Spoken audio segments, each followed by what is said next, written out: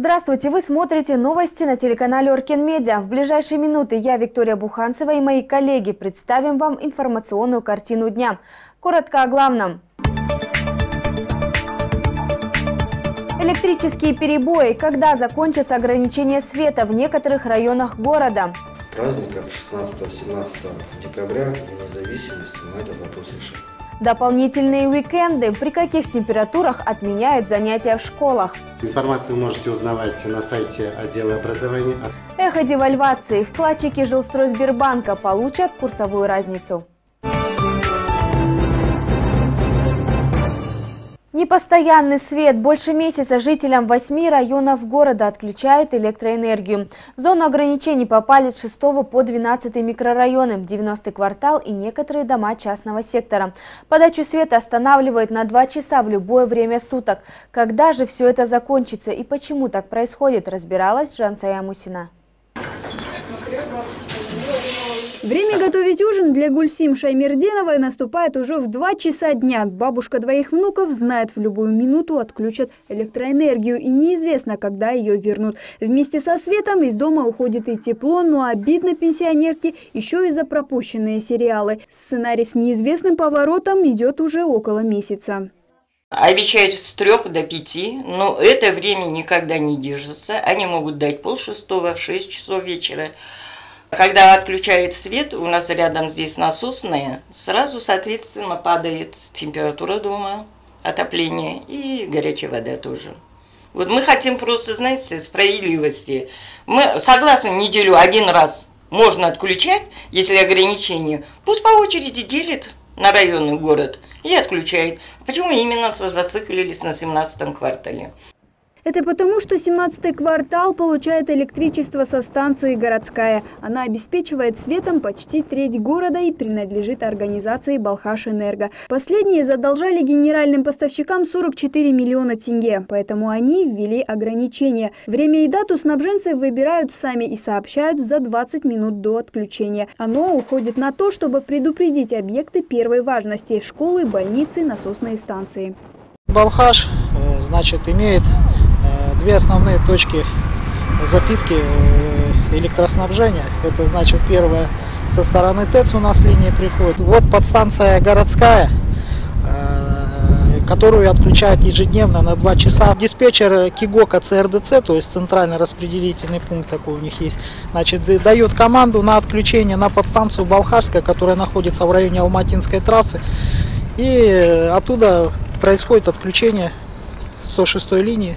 В скором времени все закончится, заверили начальники. Местные власти помогли Балхашэнерго справиться с долгами. После Дня независимости в город вернется стабильное электроснабжение. А 31 декабря с организацией Жисказган Энергосбыт заканчивается срок договора.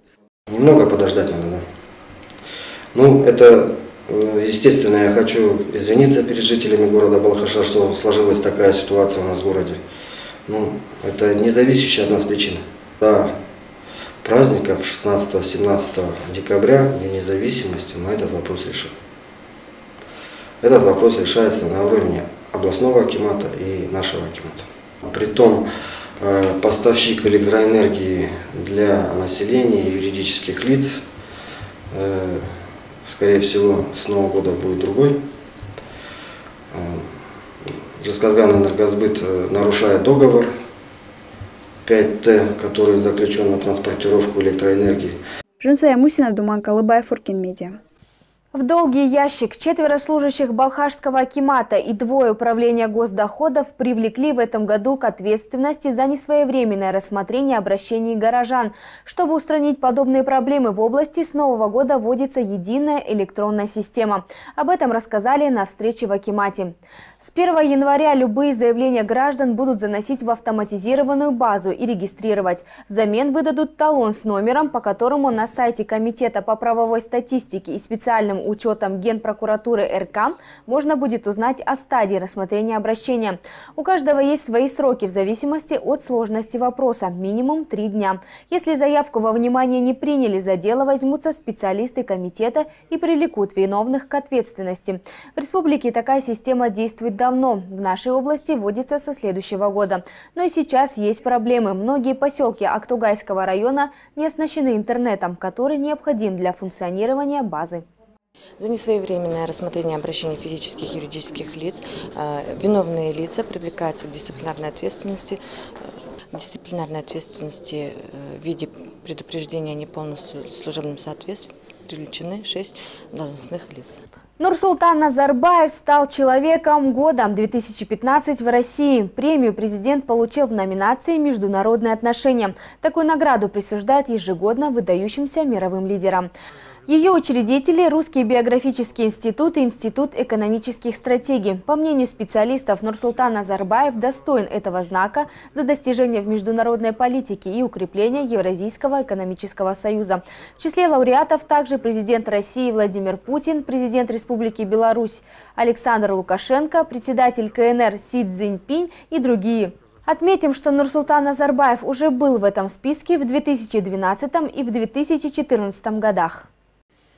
Последнее слово. Экс-премьер-министр Казахстана Серик Ахметов попросил прощения Нурсултана Назарбаева из зала суда.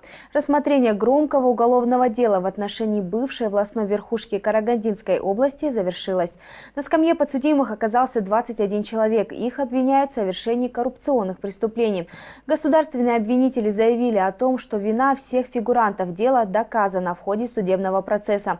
В отношении Серика Ахметова прокуроры исключили обвинения в получении взятки и попросили наказания в виде 12 лет лишения свободы. Приговор по делу Ахметова огласят в пятницу 11 декабря. Ваша честь, я хочу обратиться к главе нашего государства, президенту Республики Казахстан Нурсултану Абишевичу Назарбаеву, к своему учителю и наставнику.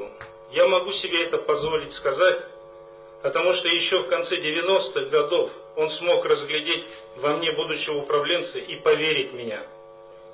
И если суд и глава нашего государства, уважаемый Установич, позволят мне вернуться в строй, то я готов применить все свои знания и опыт, работать на благо нашей страны и восстановить свое честное имя. Внеоборотные выплаты 70 миллиардов тенге получат вкладчики Жилстройсбербанка в виде компенсации. Большую часть средств для возмещения курсовой разницы выделит государство. Кабинет министров направит из резерва почти 37 миллиардов тенге. Остальную сумму банк возьмет из собственных средств. Разницу по вкладам назначили для 492 тысяч действующих депозитов. Сроки приема заявлений еще не закрепили, но известно то, что владельцы счетов получат платежи в 2016 и в 2017 годах. Незапланированные каникулы. Столичные школьники два дня отдыхали дома из-за метели. Зима постепенно устанавливает свои порядки. Балхашцев в ближайшие дни тоже ждут погодные сюрпризы, поэтому мы решили рассказать, при каких из них отменяют уроки. С нулевого по четвертый класс остаются дома, если столбики термометров опустятся до минус 25 и при ветре 5 метров в секунду и более. При отметке минус 27 занятия отменят для учеников до 9 класса. При похолодании до 30 30 градусов мороза на учебу не идут все школьники. Э, время предоставления отмены занятий производится с 6.45 до 8.00 для первой смены и с 11.30 до 13.00 часов для второй смены. Информацию вы можете узнавать на сайте отдела образования, а также э, по телефонам дежурной по школе, классным руководителям или администрации школы. Также для информирования населения телеканал Оркин Медиа запускает специальный сервис. В непогоду, когда будет отмена уроков в школах, на нашем канале с 7 до 7.30 утра будет объявление со списком счастливчиков, которые остаются дома. Эти же данные можно будет посмотреть на нашей странице ВКонтакте. И на сегодня все. Завтра вас ждет итоговый выпуск новостей. В 20.30 вы узнаете о главных новостях страны и мира, а также о том, как собирают первый тепличный урожай воспитанники интерната. А я прощаюсь с вами до следующего выпуска.